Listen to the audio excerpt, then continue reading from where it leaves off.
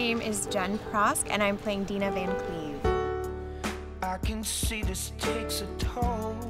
I definitely loved the story and the writing right away. I think it's a really important message to get out to teenagers right now. There's a lot of bullying going on, and I just think it's important for kids to kind of witness this and see how they should not bully kids and how this is really affecting teenagers all across the country and the world right now. So I think it's a really important story to get out to the public.